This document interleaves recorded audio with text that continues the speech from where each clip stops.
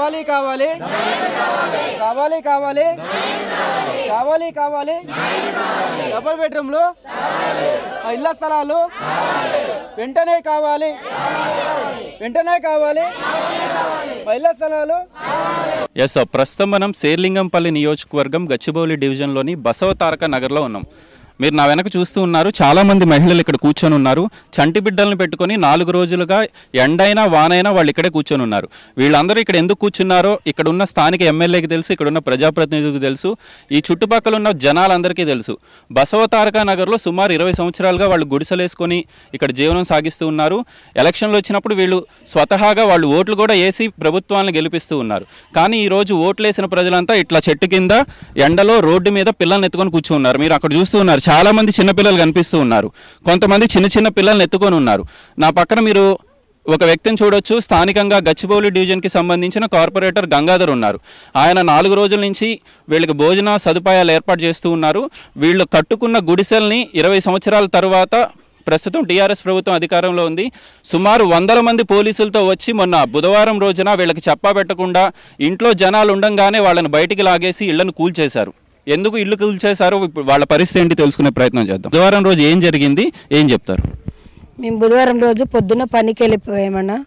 అయితే పొద్దున మాకు ఒక నోటీస్ కూడా రాలేదు ఏం రాలేదు. కనీసం లీడర్లన్నీ కూడా ఉన్నారు మా బస్తీలో. వాళ్ళు కూడా ఏం ఇన్ఫర్మేషన్ ఇవ్వలేదు. ఎవరి పనులు వాళ్ళకి వెళ్ళిపోయిన సమయంలో స్కూల్ పిల్లలు మాత్రం ఇక్కడ ఉండడం జరిగింది. వందల మంది పోలీసులు వచ్చారు.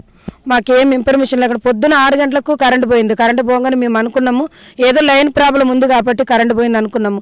కానీ ఇలా వచ్చి ఇండ్లు కూల్చేస్తారని మాకు తెలియదు. లేదంటే మాకు ముందుగా ఇన్ఫర్మేషన్ ఇచ్చిన ఉంటే మా సామాన్ని మీ తీసి పక్క పెట్టుకునే వాళ్ళము.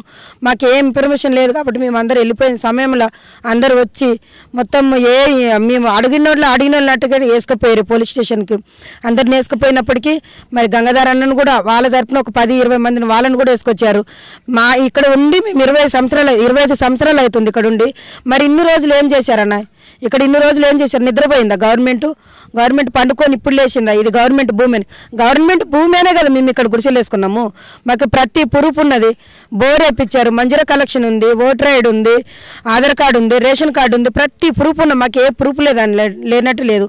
మాకు సడన్గా ఏది చెప్పకుండా చేయకుండా మరి గవర్నమెంట్ ఇంత రెండు వందల యాభై రెండు వందల యాభై కుటుంబాలని రోడ్డుకు ఇలా వేయడం జరిగింది. ఇంతవరకు కూడా ఏ ప్రభుత్వం వచ్చి మమ్మల్ని వచ్చి చూసింది లేదు మా పరిస్థితి తెలుసుకున్నది లేదు. మాకు ఒకటే- డిమాండ్. మాకు ఒకటి డబుల్ బెడ్రూమా లేదంటే ఇక్కడ అరవై గజాల స్థ- స్థలమా. ఏదో ఒకటి చేయాలని న్యాయం కోరుతున్నామండి. అంటే మీకు ఇక్కడ మీరు ఓట్లు వేస్తూ ఉన్నారా? ఇప్పుడు ఎన్నికలు జరిగినాయి మున్సిపల్ ఎన్నికలు జరిగినాయి. ఓట్ ఓట్ ఓటు హక్కు ఇక్కడే ఉంది? ఆధార్ కార్డులు అన్నీ ఉన్నాయా మీకు? ఉన్నాయన్న. అన్ని ఓటర్కి ఇక్కడదే ఉంది ఆధార్ కార్డు అన్నీ ఉన్నాయన్న. మీకు చూపెట్టమన్నా కూడా చూపిస్తాం మేమన్నా మేము. ఎవరి కార్డు ఉన్నాయి ఇక్కడ ఇవ్వండి దయచేసి. ఇక్కడ. అయితే అయితే ఇవన్నీ మీరు చూపిస్తూ ఉన్నారు. వీళ్ళ ఆధార్ కార్డులు ఇక్కడే ఉన్నాయి వాళ్ళ ఓటు కార్డులు కూడా ఇక్కడే ఉన్నాయి. ఎలక్షన్లప్పుడు పోయినసారి ఎలక్షన్లప్పుడు టీఆర్ఎస్ పార్టీ వాళ్ళు వచ్చారా అమ్మ మీ దగ్గరికి. మరి వాళ్ళు ఇప్పుడు రావట్లేదా? మీరు రోడ్డు మీద కూర్చున్నారు కదా వాళ్ళకి ఏం పట్టదా? రాలేదు. ఎవరు రాలేదు. కన్నా డబుల్ బెడ్రూమ్ది శిల్ప్ అనేది. చూసుకోండి ఒకసారి బాగా. డబుల్ బెడ్రూమ్ ఓటు ఇక డిమాండ్ చేసి మరి బీజేపీ పార్టీ మీద పోటీ చేసి మాకు ఇక్కడ బోర్ కూడా వేయడం జరిగిందన్న. అది కూడా చెప్పి ఇగోండి. ఓటర్ ఐడీలు కూడా. అంటే కాదు నేనేం అడుగుతున్నా అంటే టీఆర్ఎస్ పార్టీకి సంబంధించిన వాళ్ళు మొన్న ఎలక్షన్లప్పుడు మీ ఇంటి దగ్గరికి వచ్చారు మీకు దండం పెట్టారు అమ్మ మాకు అవకాశం ఇమ్మందా అన్నారు. సరే వాళ్ళు ఓడిపోయారు. ఓడిపోయిన తర్వాత మళ్ళీ ఇప్పుడు మీ దగ్గర రావాలి కదా? వస్తున్నారా వాళ్ళు ఎవరైనా మిమ్మల్ని పలకరించారా? మాకెవ్వరు రాలేదు. కనీసం ఇంత కోల్పోయాం మేము. చిన్న పిల్లలు ఉన్నారు. కనీసం మా పిల్లల పరిస్థితి ఏంటి? ఒక కవర్ అన్న సగం చేద్దాం. లేదంటే కనీసం ఒక మంచినీళ్ళు మంచినీళ్ళు బోర్ కూడా తీసేశారన్న. కనీసం నీళ్ళు ఏర్పాటు కూడా లేదు. మీరు తిన్నారా సచ్చారా బతికారని కూడా ఎవరు రావట్లేదు. మమ్మల్ని అక్కడికి రమ్మని డిమాండ్ చేస్తున్నారు. మాది ఒకటే కోరిక. మా- మేము చేసేదంతా మా బస్తీ కాలనీ మొత్తం మేము చేసేది ఒకటే డిమాండ్ అన్న. వాళ్ళే ఇక్కడికి రావాలా? ఎమ్మెల్యే సాప్ అయినా సరే కలెక్టర్ అయినా సరే మరి ఆడి నెంబర్ అయినా మన మేడం అయినా సరే ఎవరైనా సరే వాళ్ళని ఇక్కడ రమ్మని మేము డిమాండ్ చేస్తున్నాము. అంతే. అమ్మ మీరు ఇందాక నుంచి ఒక మాట చెప్తూ ఉన్నారు. ఎమ్మెల్యే గారి మనుషులు కొంతమంది వచ్చి మిమ్మల్ని అక్కడికి రమ్మని ఎంపీ ఎమ్మెల్యే గారిని కలవమని ఒక లెటర్ ఇమ్మని చెప్పి వాళ్ళు సజెస్ట్ చేస్తున్నారు. కానీ మొన్న ఎన్నికలు వచ్చినప్పుడు మీ దగ్గరకు వచ్చి దండాలు పెట్టి మాకు ఓట్లేయమని చెప్పారు. అడిగారు కదా. మరి మొన్న వచ్చిన వాళ్ళకి మీరు ఏమైనా సమాధానం చెప్పారా? ఏం చెప్తారు? మేమేమంటే ఇప్పుడు ఎమ్మెల్యే గారు ఇక్కడికి వచ్చారు. అంటే ఎమ్మెల్యే ఎమ్మెల్యే కిందకున్న అనుచరులంతా ఇక్కడికి వచ్చారు. కండవలు కప్పుకొని వచ్చారు. ఇంటింటికి వాళ్ళ టెక్సీలు ఇచ్చారు. అవన్నీ చేంజ్ చేశారంటే మాకు ఓటేయండి మీకు సేవ చేస్తాము మీకు డబుల్ బెడ్రూమ్ ఇస్తాము మీకు నీళ్ళు ఇస్తాము కరెంట్ ఇస్తాము. మరి మీకు ఇక్కడే స్థలాలు కావాలంటే ఇస్తామని చెప్పారు ఆ రోజేమో. ఇప్పుడు చెప్పిన తర్వాత ఇప్పుడేమో సడన్గా వచ్చారు బుధవారం నాడు వచ్చారు ఇల్లు కూల్ చేశారు మరి మేము ఏం కోరుతున్నామంటే మాకు న్యాయం చేయండి. ఇప్పుడు నాలుగు రోజులు అయిపోతుంది. చలి చల్ల చలి ఈ వాతావరణం ఎలా ఉందంటే చలికాలం కాబట్టి విపరీతమైన చలి దోమలు. ఈ దోమల వల్ల చిన్న కనీసం చిన్నపిల్లలకు పాలు లేనిది ఒక రోజు అని ఉండరు. కనీసం పాలు కూడా ఇవ్వట్లేరు వాళ్ళు. ఏమనేది ఇంతవరకు కూడా వచ్చి మాకు ఏం చెప్తలేరు కాబట్టి మేము అడిగేది ఏమంటే మరి ఆ రోజు అయితే రాలేరు. అప్పుడేమో ఓట్ల ఎలక్షన్ అయితే కావాలని చెప్పారు. ఇప్పుడు నాలుగు రోజులు అవుతుంది కనీసం ఒక్కరన్న టీఆర్ఎస్ పార్టీ నుంచి ఈ రోజుకి ఒక్క అధికారాన్ని రాలేదు. క- కనీసము మన లోకల్ లీడర్లు కూడా రాలేదు మాకైతే. వచ్చి ఏది మీ పరిస్థితి ఆ రోజు కూలగొట్టే రోజు మరి ఎమ్మెల్యేకి ఫోన్ చేస్తే ఆయనేమో నేను తిరుపతిలో ఉన్నానన్నారంట. మరి తిరుపతిలో ఉన్న ఉన్న వ్యక్తి ఇప్పటికైనా ఇంటికి రావాలి కదా ఇంటికి వచ్చి ఉంటారు కదా మళ్ళీ వచ్చిన వ్యక్తి ఈ రోజు రావాలి కదా ఇక్కడికి?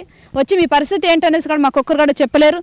మాకు అన్ని ప్రూఫ్లు ఉన్నాయి. మరి ఓటు ఎలక్షన్ ముందుకి ఇక్కడికి వచ్చి బోరు ఓపెన్ చేయడం జరిగింది. బోర్లో అది శంకుస్థాపన కూడా చేయడం జరిగింది. మరి ఇక్కడ గవర్నమెంట్ ల్యాండ్ కదా మళ్ళీ మీకు నీళ్ళు లేదు ఏ- ఏం లేదని ఆ రోజు చెప్పేది ఉండే కదా. మరి గవర్నమెంట్ ల్యాండ్ అన్నప్పుడు ఇక్కడికి వచ్చి ఓట్ల ఎలక్షన్ అడిగినప్పుడు వాళ్ళకి తెలియసలేదు ఆ రోజు. ఈ రోజు మాత్రం సడన్గా వాళ్ళకి ఓట్ల ఎలక్షన్ అయిపోయింది ఇక్కడైతే. మన జిహెచ్ఎంసీలో ఓడిపోయారు కాబట్టి ఇక్కడున్న మరి ఇక్కడున్న కోట్లు విలువ చేసే ల్యాండ్ని అమ్ముకోవాలనేసి ఈరోజు పేద ప్రజలంతా రోడ్డు మీద పడేస్తే మేమంతా ఎక్కడికి వెళ్ళాలి? మరి మా గోడ ఎవరికి చెప్పుకోవాలి? మరి నాలుగైదు రోజులు నాలుగు రోజుల సంది మరి గంగాధర్ సార్ మన స్థానిక మన కార్పొరేటర్ గారు వచ్చి మాకు అన్నీ ఇస్తున్నారు. మరి ఆయన ఇచ్చే ఇచ్చేవారిని కూడా వార్నింగ్ ఇస్తున్నారంట పోలీసులు కూడా బెదిరిస్తున్నారంట. మరి మేము ఎలా బ్రతకాలి? మాకు కావాల్సిన న్యాయం కావాలి మాకు డబుల్ బెడ్రూమ్ ఇస్తారా? లేకుంటే ఇక్కడైనా మాకు స్థలం ఇస్తారా? రెండిట్లో ఏదో ఒకటి మాకు చెప్పాలి. అప్పటిదాకా మేము ఇక్కడ నుంచి కదలము. అంతే. మేము కూడా మమ్మల్ని కూడా గుడిసెలో వేసి మళ్ళీ వాళ్ళు ఎట్లా కూల్చేసారు ఒక జేసీపీ తెచ్చేసి ఆ జేసీపీ దాన్ని పెద్ద లోయ చేసేసి మమ్మల్ని అంతా వేసి మట్టి పూడ్చేమనండి ఆయనకి ఇంకేది పోదు. ఇంకా తర్వాత ఆయనకు ఓట్లు వేసేవాళ్ళు కానీ ఇంకెవరు ఉండరు. ఎందుకంటే మేము చాలా పేద ప్రజలు మమ్మల్ని పట్టించుకోవాలి. ఎమ్మెల్యే గారు చూసినట్లయితే తక్షణం మాకు ఇక్కడికి వచ్చి ఏదో ఒకటి సమాధానం అయితే మాకు చెప్పాలి. సార్ సార్ ఎమ్మెల్యే గాంధీ గారు ఇది నా ప్రశ్న కాదు. ఇక్కడ ఉన్న వాళ్ళ ప్రశ్న వీళ్ళు అడుగుతూ ఉన్నారు గత ఎన్నికల్లో మీరు ఇదే బస్తీలోకి వచ్చారు ఈ బస్తీలోకి వచ్చి దండం పెట్టి ఓట్లు అడిగారు. మీ ఎల్ మీ ఎలక్షన్లప్పుడు వచ్చారు రెండు వేల పద్నాలుగులో వచ్చారు రెండు వేల పద్దెనిమిది ముందస్తు ఎన్నికల్లో వచ్చారు. మరి ఇప్పుడు మా ఎమ్మెల్యే ఎక్కడికి పోయాడు అని చెప్పి వీళ్ళు అడుగుతున్నారు నేను నేను చెప్తున్న మాట కాదు జనాలు అడుగుతున్న మాట మీరు ఎక్కడికి పోయారు? పొద్దున్న లేస్తే బేకరీలు చిన్న చిన్న బడ్డీ కోట్ల ఓపెనింగ్లకు కూడా ఎమ్మెల్యే గారు వెళ్తారు. ప్రతినిత్యం జనాల్లో ఉండే వ్యక్తి ఎమ్మెల్యే అని చెప్పి అందరూ చెప్పుకుంటూ ఉంటారు. మరి ఇంతమంది చెట్టు కింద వాళ్ళు గుడిసెలు పోగొట్టుకొని రోడ్డు మీద కూర్చుంటే మీరు ఎక్కడికి పోయారని చెప్పి వాళ్ళు ప్రశ్నిస్తూ ఉన్నారు. ఇంకొంతమందితో మాట్లాడే ప్రయత్నం చేద్దాం. మా ఎప్పటి నుంచి ఉంటున్నారు మీరు ఇక్కడ? ఏంటి ఈ రోజు రోడ్డు మీద కూర్చున్నారు? ఏడుస్తూ ఉన్నారు. ఏంటి ఈ గత ఏంటి మీకు? సంవత్సరాల ఉన్నది సార్. మా మా యజమానుడు చచ్చిపోయాడు నా అల్లుడు చచ్చిపోయాడు. అందరూ పోయినారు మేము చెత్తకుండా ఏరుకుంటున్నాము గుడిసి కట్టుకున్నాం. చెడాంగమని వచ్చింది చేసి దెబ్బేసిండి. పిల్లలు నాలుగేళ్ళు సంవత్సరం పిల్ల ఆడపిల్ల కవర్లో సురుకుపోయింటుంది పోలీసు లాఠీ వాళ్ళు లేడీస్ వచ్చి పట్టుకున్నారు సార్. మస్తు కొట్టిండు సార్ కాళ్ళన్నీ కొట్టేసినారు సార్. మేము అందుకే ఇక్కడన్నా చచ్చిపోవాలో లేదు మా మీద జేసీబీ పెట్టి మట్టి తీసి లోయ తీసి అందరు లేచి మట్టి కప్పాం సార్. ఇక్కడికి వెళ్ళి మేము కదలం సార్. మాకు ఇస్తే యాభై జా యాభై గిజలు జాగయ్యింది లేదు డబుల్ బెడ్రూమ్ ఉన్నది సార్. దీనికి మించి మేము చెప్పగలం. ఓట్లకైతే పన్నెండేళ్ళ పిల్లలు కూడా సార్ చీర కట్టిన ఓట్లు వేపించుకున్న దండలు పెట్టి సార్. ఇవాళ నీ కళ్ళకి మేము కనిపిస్తలేము సార్. ఆ సార్ తెచ్చింది నాలుగు రోజులు ఇంకా ఏదంతా సాయం చేస్తున్నాడు. బుడ్డ పిల్లలు ఆ దోమల చీమలు నట్ట రోడ్లు పండుగ సార్. ఇదే సార్ మాది సాధ్యం. దీనిలో చచ్చినా సరే ఇటుకెళ్ళి ఎవరు చమ్మినా వదలం సార్. ఇక్కడే చచ్చిపోతాం. ఇదే సార్ సాక్ష్యం సో చూస్తూ ఉన్నారు కదా అయితే ఇక్కడ అధికారులు కూడా ఒకటి గమనించాలి. సార్ మీకు జీతాలు ఇచ్చేది అందరూ ప్రజలు.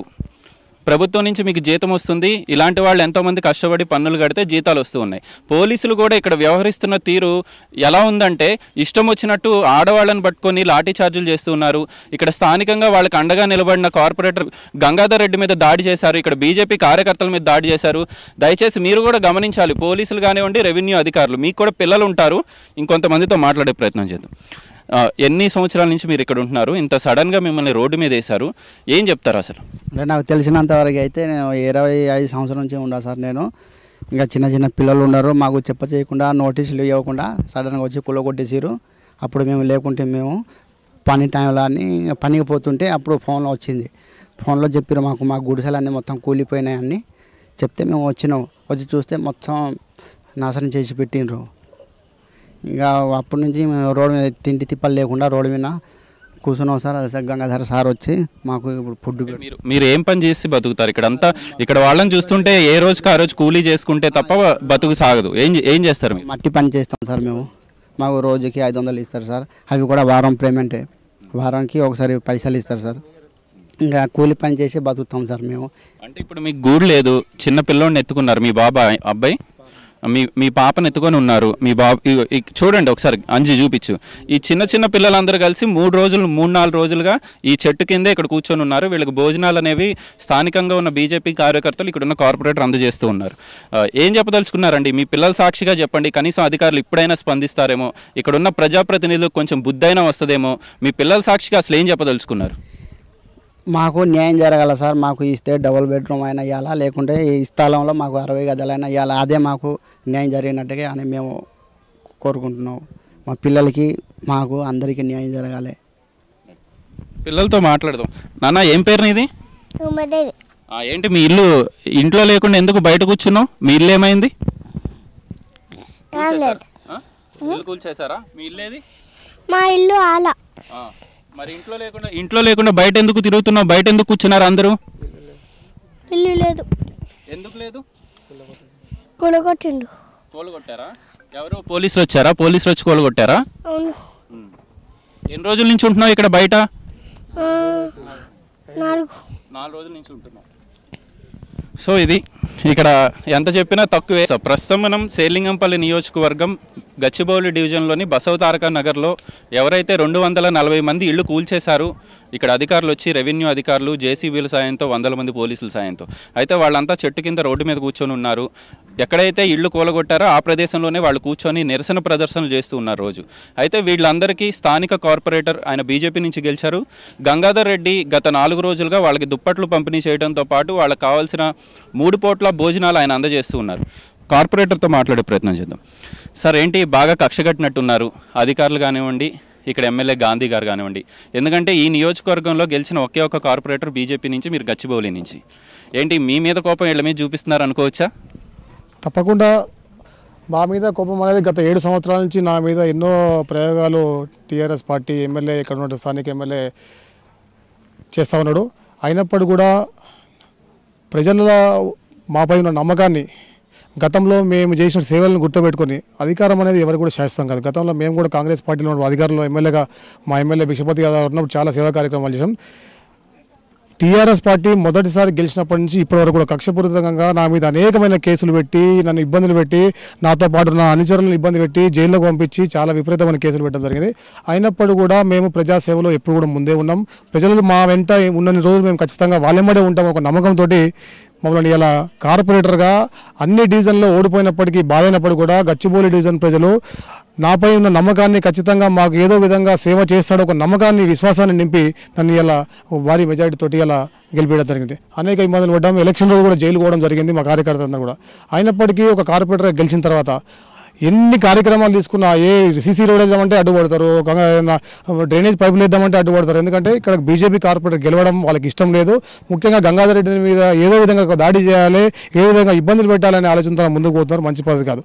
ఒక విధంగా రాజకీయాలని ఇప్పుడు కూడా పక్కకు పెడితే ఇక్కడ ఉన్నటువంటి స్థానికంగా ఎనిమిదో తారీఖు పొద్దున్నే బుధవారం పొద్దున మరి ఎలాంటి నోటీస్ ఇవ్వకుండా బసవతారక నగర్. ముఖ్యంగా ఈ ఐటీ హబ్గా చెప్పుకునే గచ్చిబౌలి డివిజన్లో మీరు ప్రాంతం చూసినట్టయితే మీరు విజువల్స్ కూడా చూసుకోండి. పక్కనే ఐటీ కంపెనీ చాలా పెద్ద పెద్ద కంపెనీలు ఉన్నాయి. దీని అనుకున్న కంపెనీలు ఉన్నాయి. ఇంత పెద్ద కంపెనీ పక్కనే ఉన్నటువంటి ఇరవై ఐదు సంవత్సరాలు నివసిస్తున్నటువంటి పేద ప్రజలు బాధ వాళ్ళకి గుర్తు రావట్లేదా? ఎలక్షన్లు అప్పుడు వచ్చినట్టు మాత్రం ఖచ్చితంగా వీళ్ళు ఓట్లు వేయాలమ్మా. మీ ఎమ్మడి మేము ఉంటాం. మిమ్మల్ని ఏ ఇబ్బందులు పడ్డా కూడా మేము అద్దం రాతైనా ఆదుకుంటాం నీళ్ళు ఇస్తాం ఫుడ్ ఇస్తామని ఏదైతే చెప్పిరో మరి ఈరోజు ఎవరు కూడా కనిపించట్లేదు మేము చెప్పడం కాదు ఇలా యావత్ ప్రపంచంలో చూస్తూ ఉంది. మా డిమాండ్ అలా ఒకటే. ఇక్కడ పేద ప్రజలు నా గత నాలుగు రోజుల నుంచి చలిలో మరి ఇబ్బంది పడతా ఉంటే అధికారులు కూడా చీమ కొట్టినట్టు కూడా లేదు. ముఖ్యంగా అధికారులు ఇక్కడున్న స్థానిక ఎంఆర్ఓ కావచ్చు స్థానిక సీఐ కావచ్చు మీరు అధికార పార్టీకి పనిచేయవచ్చు కానీ అధికార పార్టీ ఎమ్మెల్యే ఏం చెప్తే అది చేయాలనేది ఆలోచన కాదు. మనం ప్రభుత్వం జీతం ఇచ్చినప్పుడు ప్రభుత్వ పరంగా పబ్లిక్ డిమాండ్ ఏంది? పబ్లిక్ పక్షాన మనము గెలిచమనేది ఆలోచన చేయండి. పబ్లిక్ ఏదైతే ఓట్లేసి గెలిపించారో ఆ డిమాండ్తో మనం ఉండాలి తప్పితే మీరు ఓన్లీ ఒక అధికారి టీఆర్ఎస్ పార్టీ తొత్తులాగా పనిచేస్తారు తప్పితే మీరు ప్రజలపై దాడి చేసి వాళ్ళని భయపెట్టించి రాత్రికి రాత్రి నలుగురు ఐదుగురు మందిని తీసుకుపోయి మీరు భయపెట్టించి మీరు ఎక్కువ చేస్తున్నారు అని పిల్లాడు మా సోదరుడు ఇక్కడనే గంగాధర్ అనే వ్యక్తిని మరి సీఏ గారు తీసుకొని బెదిరిస్తున్నారు. మీరు వెళ్ళిపోండి ఇక్కడ నుంచి మీరు ఎక్కువ చేస్తున్నావు. అంటే వాళ్ళ డిమాండ్ ఏం అడుగుతారు వాళ్ళు? మా ఇల్లు కొలగొట్టారు సార్ మాకు న్యాయం చేయండి మాకు డబుల్ బెడ్రూమ్ ఇవ్వండి అనే వాళ్ళ ప్రధాన డిమాండ్ తప్పితే వేరేది లేదు. సార్ గంగాధర్ గారు అసలు ఏం డిమాండ్ చేయదలుచుకున్నారు? సరే వాళ్ళు కూడా మా పోరాటం ఆగదని చెప్పి చాలా స్పష్టంగా చెప్తున్నారు. దానికి మీలాంటి నాయకులు తోడయ్యారు. ఏంటి ఇప్పుడు ఈ బసవ తారక నగర్లో వాళ్ళకి ఇక్కడే స్థానికంగా ఇళ్ళ పట్టాలు ఇవ్వాలనా? లేకపోతే మీరు ఇందాక చెప్పినట్టు నల్లగండలో రెండు వందల ముప్పై ఇళ్ళు రెడీగా ఉన్నాయి రెడీ టు ఆక్యుపై. అయ్యన్నా ఇస్తే వాళ్ళు ఇబ్బందులు లేకుండా ఉంటారు కదా అసలు ప్రధాన డిమాండ్ ఏంటి? మా ప్రధాన డిమాండ్ ఒకటే. బసవతారక నగర్లో ఇంత కాస్ట్లీ ల్యాండ్ అని మీరు ఏదైతే ఎక్స్పెక్ట్ చేసి మరి మైహూమ్ కంపెనీ వాళ్ళకు ఇంకో కంపెనీకి ధరదద్దం చేద్దామని ప్రయత్నం చేస్తారో ఖచ్చితంగా మేము ఖాళీ చేయడానికి సిద్ధంగా ఉన్నాం. ఎప్పుడు ఖాళీ చేస్తాం? గత ఇరవై సంవత్సరాల నుంచి మేము ఇక్కడ ఉన్నప్పటికీ కూడా అరవై గజాలు డెబ్బై గజాలు ఇవ్వమని చెప్పి డిమాండ్ చేస్తున్నాం. ఒకవేళ కాస్ట్లీ ల్యాండ్ మేము ఇవ్వలేము మేము ఓన్లీ మా ప్రభుత్వానికి సంబంధించిన కంపెనీలకే ఇచ్చుకుంటామని అయితే మీరు అయితే కరాఖండ్కి చెప్తా ఉన్నారు సరే మా డివిజన్లో ఉన్నటువంటి గచ్చిబౌలి డివిజన్లో Gulmohar park survey number ninety ఫైవ్లో రెండు వందల ముప్పై ఇళ్ళు ఇంకా ఓపెనింగ్ కాకుండా సిద్ధంగా ఉన్నాయి. మీరు రెడీగా ఉంటారు రేపు రెడీ టు ఆకుపోయి ఉన్నాయి. ఇంకా ఇంత ఇబ్బంది పడుతుంది నాలుగు రోజుల నుంచి వీళ్ళు తీసుకుపోయి అక్కడ పెట్టచ్చు కదా? వేరే ఎక్కడో పెట్టాల్సిన అవసరం లేదు. మీరు కొల్లూరులో ఉన్నాయి ఇంకా దూరం అయితే మాకు. సరే గచ్చిబౌలి డివిజన్లో ఉన్నాయి కాబట్టి అలాట్మెంట్ ఇంకా ఇంతవరకు కూడా ఎవరికి అలాట్మెంట్ చేయలేదు. వీళ్ళ డిమాండ్ రెండు వందల నలభై లిస్ట్ రాసుకున్నారు. గతంలో కూడా రాసుకున్నారు. ఇస్తామని చెప్పి ఇంత హామీ ఇచ్చారు. మా ప్రధాన డిమాండ్ మా పోరాటం అంతా కూడా ఇక్కడ పేద ప్రజల్ని ఎలాంటి ఇబ్బందులు కాకుండా ఇక్కడన్నా స్థలం కేటాయించండి. కనీసం ప్రభుత్వము నాలుగు రోజుల నుంచి ఆదుకోమని ప్రయత్నం చేస్తున్నాం. ఒక కార్పొరేటర్ గారు నేను ఒక లెటర్ చేయడం జరిగింది. జోనల్ కమిషనర్ గారికి ఫోన్ చేసి మేడం వాళ్ళు వర్షం పడే అవకాశం ఉంది ఇక్కడ పేపర్లు కట్టుకోవాలి మరి వాళ్ళకు నైట్లో షెల్టర్ చేద్దాం మేడం. అంటే లేదు సార్ ఇక్కడ నుంచి వాళ్ళని షిఫ్ట్ చేసి ఫంక్షన్లో పెడదాం కానీ ఇక్కడ మేము కాయాలు కానీ ఏదైనా ఇస్తే మేము షెల్టర్ ఇచ్చిన అయిపోతాం. ఒకసారి గోల కొట్టేదానికి మేము షెల్టర్ ఇచ్చిన అవుతా ఉంటుంది. మరి ఎంతవరకు న్యాయం అది? రాత్రికి వానబడి వాళ్ళు ఇబ్బంది పడుతూ ఉంటే ఏదైనా ఒక అవకాశం ఉన్నప్పుడు పేపర్లో ఫుడ్ ఏర్పాటు చేయాలి మేడం. అది మంచి పద్ధతి కాదు. ఆ అక్షయ పాత్ర నుంచి ఫుడ్ పంపించి ఏర్పాటు చేయాలి. ఎందుకు ఎందుకు పంపారు? మాకు ఐదు రూపాయలు భోజనం ఎవరు పెడతారు టీఆర్ఎస్ పార్టీ కార్యకర్తలు పెడతారా? ఇక్కడ ఉన్న బస్తీ వాళ్ళకు రాయి కొట్టుకొని బతికే పేద ప్రజలకు పెట్టమని డిమాండ్ చేసినాం. గవర్నమెంట్ సొమ్ము మేము వీళ్ళు కట్టే పన్నుతోటి వాళ్ళు జీతాలు తీసుకుంటారు. అంతే అధికారులు కానీ ఎంఆర్ఓ కానీ సీఐలు కానీ ఎందుకు ఏమవసరం మీకు? అక్షయ పాత్ర నుంచి ఫుడ్ పంపించమని జోనల్ కమిషనర్ డిమాండ్ చేసినాం. కలెక్టర్ గారికి మొన్న కూడా మేము చెప్పడం జరిగింది. అందరు అధికారులు ఒత్తిడి చేస్తున్నాం. అయినప్పటికీ కూడా ఏ అధికారి కూడా ఇప్పటిదాకా స్పందించడం. కేవలం ఒక కుట్రపూరితంగా వీళ్ళు వ్యవహరిస్తూ ఉన్నారు. మంచి పద్ధతి కాదు. మాకు న్యాయం చేసేంత వరకు. మేము ఇక్కడే ఉంటాం. మేము ఎవరి మీద కూడా మా పోరాటం ఎమ్మెల్యేనో ఇంకో ప్రభుత్వమే పోరాటం చేస్తాం. కలెక్టర్ దిగిరాలని అంటున్నాం తప్పితే ఎమ్మెల్యే మాకు టీఆర్ఎస్ పార్టీ ఎమ్మెల్యే మాకు వ్యతిరేకమని కాదు. ఎమ్మెల్యే ఎవరికైనా ఎమ్మెల్యే మేము కూడా ఒక మంచి పని చేస్తే స్వాగతిస్తాం. ఎమ్మెల్యే ఏ రోజు కూడా వ్యతిరేకించే బీజేపీ కార్పొరేటర్గా నేను ఇక్కడ ఉన్నప్పటికీ కూడా నాకు వాళ్ళ ఉన్న అనుచరులు ఎన్నో ఇబ్బందులు పెట్టినప్పుడు కూడా ఏ రోజు కూడా ఎమ్మెల్యేని ఇంతవరకు నేను అడుకోలే ఇక్కడ కూడా ధర్నా చేయలే. నాకు చాలా ఇబ్బందులు పడుతున్నా. నా కాన్స్టిట్యూషన్ నా డివిజన్లో ఒక్క పని కూడా కానికుండా ప్రయత్నం చేస్తారు అయినప్పుడు కూడా ప్రజల ఆందోళనతో ముందుకు పోతున్నా. జోన్ కమిషనర్ పని చేయాల్సింది. మేయర్ పని చేయాల్సి ఉంటుంది. కమిషనర్ సీసీ రోడ్ వేయాలన్నా మేయర్ వేస్తారు లేకపోతే జేసీ అధికారులు వేస్తారు. కాబట్టి ఏ ఎమ్మెల్యేనో కార్పొరేటర్ సొంత డబ్బులతో ఇస్తలేము. మన సొంత డబ్బులు కాదు ఒక కార్పొరేటర్ గెలిచినా ఒక ఎమ్మెల్యే గెలిచినా మన ఇంటికి మనం ఏమి ఇస్తాం వాళ్ళకు. డబుల్ బెడ్రూమ్ అన్న మన ఇల్లు కాదు మన పైసలు కాదు. ఈ జాగా అయినా మనది కాదు మన సొత్తు కాదు. సార్ చివరిగా రెండు సూటి ప్రశ్నలకి మీ నుంచి సమాధానం కావాలి. ఎందుకంటే ఈ డివిజన్కి మీరు ప్రథమ పౌరులు లాంటి వాళ్ళు. సరే చాలా అభివృద్ధి కార్యక్రమాల్లో మేము చూస్తూ ఉన్నాము. మీరు ఎమ్మెల్యే గారు వేదిక పంచుకుంటారు. ఈ ఘటన జరిగిన తర్వాత ఈ బసవ తారక నగర్లో ఇల్లు కూల్చిన తర్వాత మీ అంతటా మీరు ఎమ్మెల్యే గారికి ఏమన్నా ఫోన్ చేశారా? నేను ఎమ్మెల్యే గారికి ఇంతవరకు నేను ఫోన్ చేయలేదు. ఎందుకంటే ఏ ప్రోగ్రామ్ జరిగినా కూడా నాకు అక్కడి నుంచి ఫోన్ రాదు ఫస్ట్. గత సంవత్సరం నుంచి కూడా ఏ ఎప్పుడు కూడా ఈ సీసీ రోడ్ ఓపెన్ చేసినా ఫోన్ చేయరు డ్రైనేజ్ ఓపెన్ చేసినా ఫోన్ చేయరు. ఎప్పుడైనా ఫోన్ చేస్తే అధికారులకు గట్టిగా బెదిరించి ఒక ప్రథమ పౌరుడిగా కార్పొరేటర్గా ప్రజలతో ఎన్నుకోబడిన ప్రజాప్రతినిధిగా నాకు అన్ని హక్కులు ఉంటాయి నా తర్వాతనే ఎమ్మెల్యే.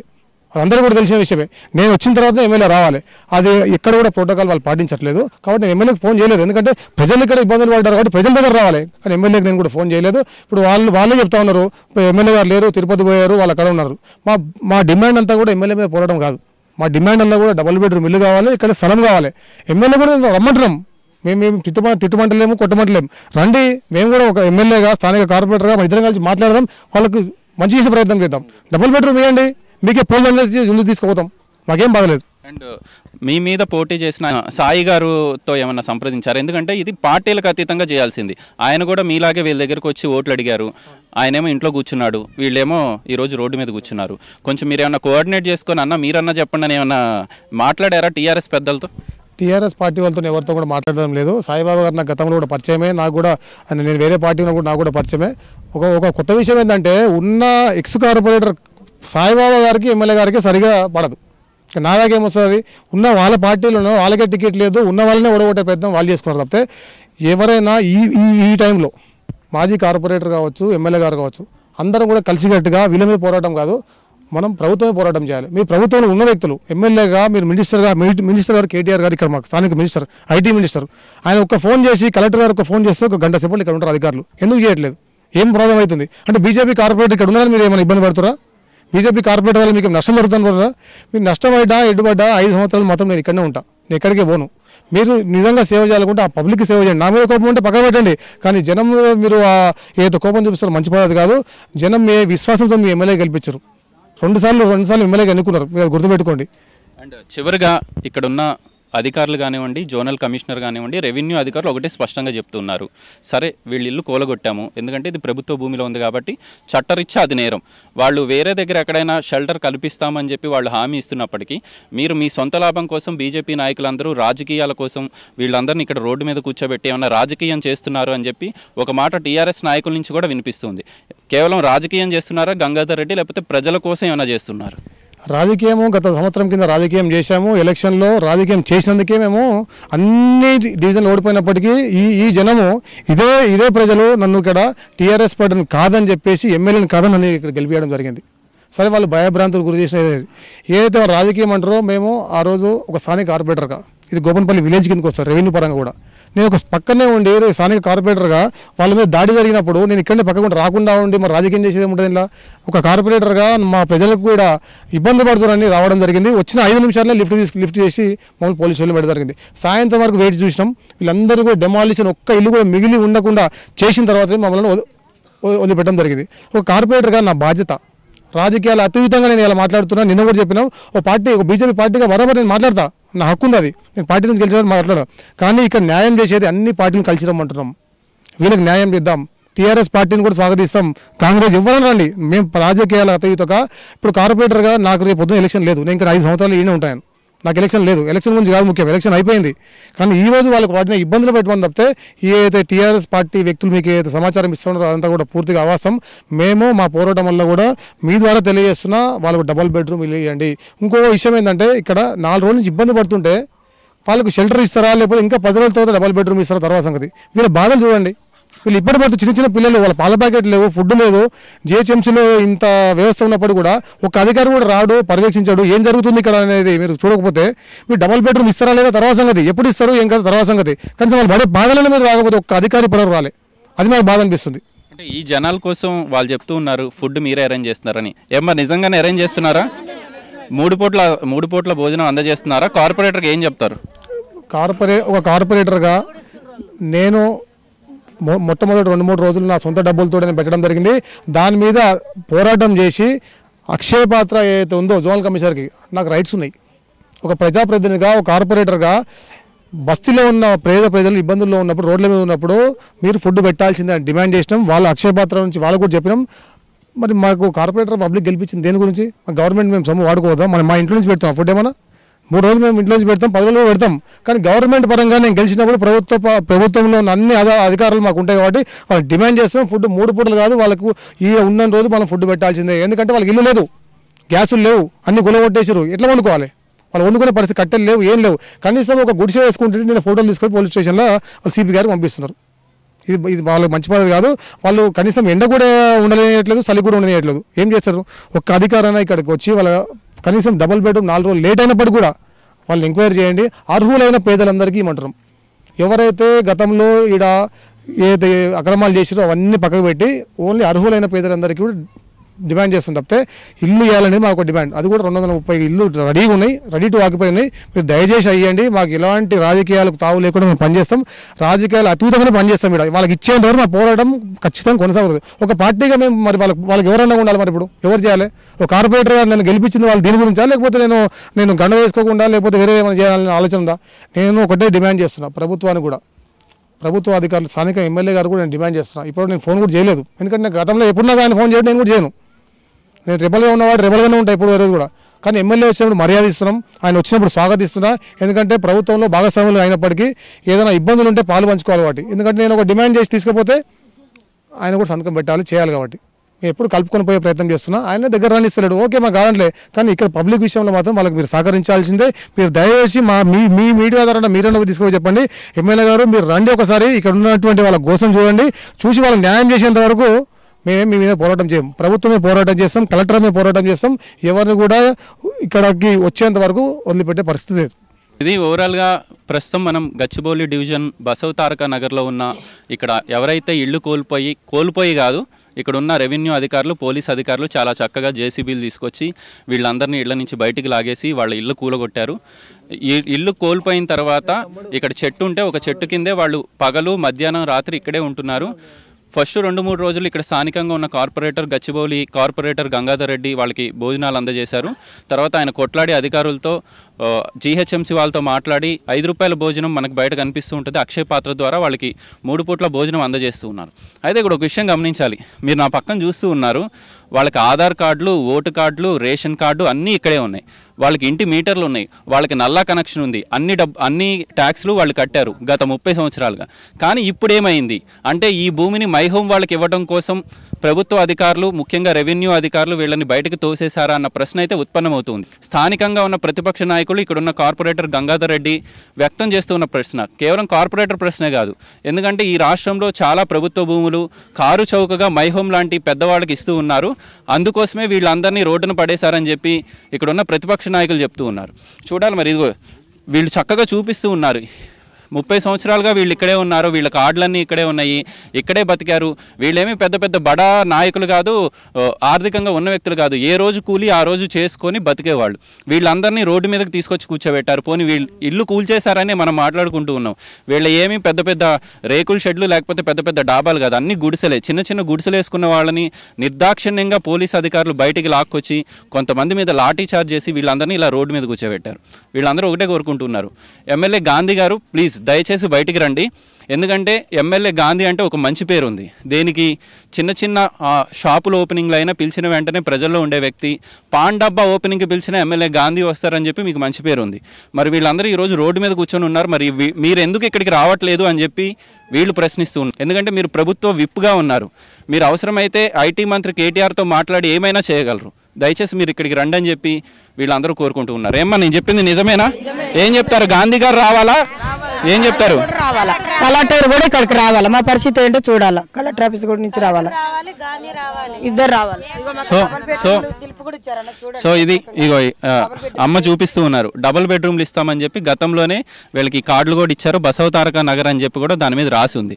దయచేసి మీరు ఇచ్చిన హామీలు ఎన్నికలకు ముందు వచ్చి మీరు చక్కగా వీళ్ళకి దండాలు పెట్టి మాకు ఓట్లేయండి అని చెప్పి అడిగిన నాయకులందరూ టీఆర్ఎస్ స్థానిక నాయకులు. మేము ఎందుకు టీఆర్ఎస్ గురించి చెప్తున్నామంటే మేము టీఆర్ఎస్కి వ్యతిరేకం కాదు న్యూస్ సిక్స్టీన్ అసలే వ్యతిరేకం కాదు. కాకపోతే ఎన్నికలప్పుడు మీరే వస్తారు మీకు డబుల్ బెడ్రూమ్ ఇల్లు ఇస్తామంటారు పంపులు వేపిస్తామంటారు నల్ల నీళ్ళు ఇస్తామంటారు. మరి ఈరోజు మీరందరూ ఏమయ్యారని చెప్పి ఇక్కడ ఉన్న జనాలందరూ ప్రశ్నిస్తూ ఉన్నారు. చూడాలి మరి వీళ్ళు వీళ్ళ పోరాటం ఎక్కడి వరకు వెళ్తుంది? స్థానిక ప్రతిపక్ష నాయకులు కూడా కాంగ్రెస్ వాళ్ళు ఎటుపోయారు? కాంగ్రెస్ నాయకులు ప్రతిసారి చెప్తారు మేమే బలమైన ప్రతిపక్ష నాయకులు అని చెప్పి.